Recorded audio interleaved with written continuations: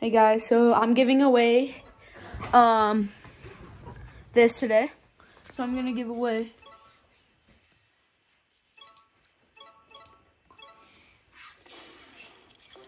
I can I'm gonna give away the ginger from 2018 Christmas.